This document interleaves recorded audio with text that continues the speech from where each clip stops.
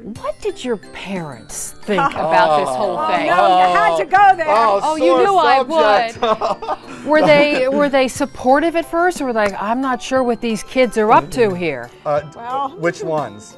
So, so, so, so my parents um, were they they thought it was amazing. They were so excited, and they they always thought that you know uh, they loved our relationship, and they thought we were destined to do some great things.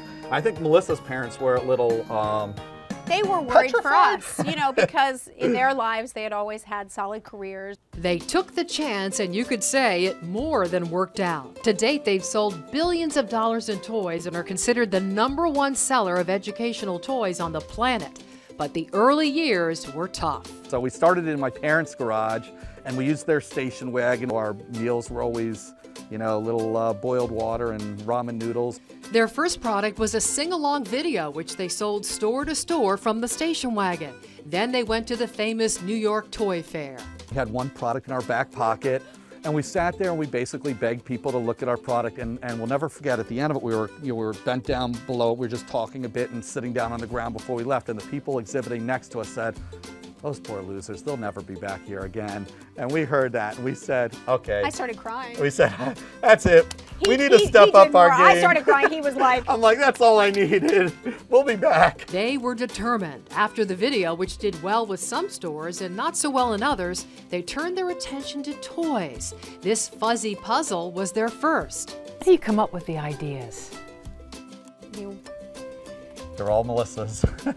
I mean, they're all, um, every idea has a story, and they're all basically need based. They're things that were sort of lacking in products that already existed because unlike other companies we're not looking forward we're not looking at like hot trends or the next new license or what's fashionable we're looking backward at um, play patterns from the past and things that kids love but we're trying to improve upon those A perfect example, their coloring pad, one of the top sellers at the company.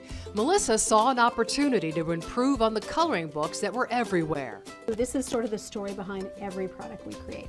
So we created a coloring pad, not a book, but it's a pad, and it's um, a little bit larger and horizontal so that more surface area is in front of the kid.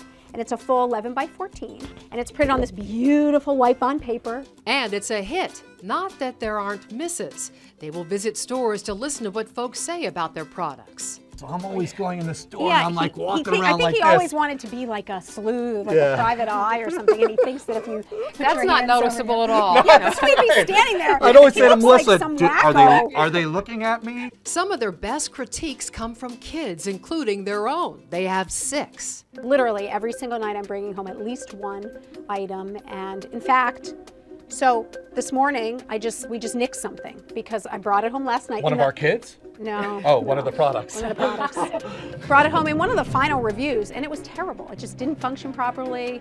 It didn't look like the value it should be, and the minute the kids just said we don't like this, I said, you know what, this product isn't good. Funny enough, the couple's children have received Melissa and Doug toys as gifts from friends who just didn't make the connection. Last year, my Yeah. daughter Yeah. got one of our um, one of our pads, and it was the she took it the first of all the toys. She got you know 25 toys, and she actually opened the pad and started playing with it, and I had to laugh. Melissa and Doug toys are mostly marketed for the little ones, Our sweet spot is zero to five. with the goal of each toy being low skill, high impact. Low skill, high impact, that they can easily do it, and when they do it, they're like almost astounded by their own result. And two is they're wanting to come back to it. So tell us about your line of toys. Wow. Well, we, at this point, we're proud to say we could stock an entire toy store. So we make everything from baby to classic wood to a full line of puzzles to role play to arts and crafts to plush. The plush is so real that one of their tigers was mistaken for a living animal after someone left it in a meadow in England.